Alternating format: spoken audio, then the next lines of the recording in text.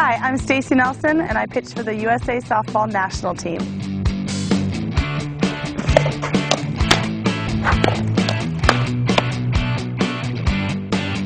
Now the second most important thing in basic pitching is our grip. All the power you're going to get is along this little horseshoe right here.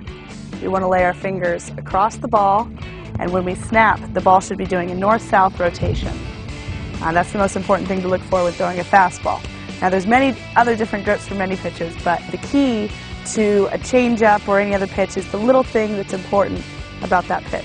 So for a changeup, if you want to slow the ball down, you want to get your palm on the ball. Our power in our snap comes from our fingers, so the more we have our palm on the ball, the more it'll slow it down. This is my changeup grip right here. Nothing fancy.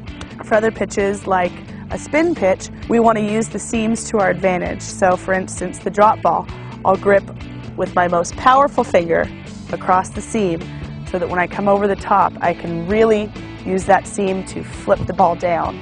Um, same thing with my curveball. My most powerful finger is across this seam. Screwball's a little different, but I still want to use those seams to my advantage where I can really feel my fingers spinning the ball.